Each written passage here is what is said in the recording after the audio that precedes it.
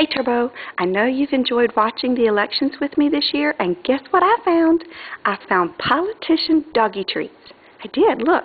This one is from John McCain. And this one is from Sarah Palin.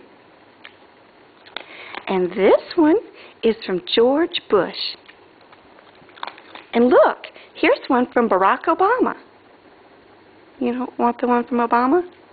All right. Well, here's one from Joe Biden. Want that one either, huh? Well, here's one from Hillary. Don't want that one. Turbo, I'm seeing a pattern here. Look, are you still upset that dogs can't vote?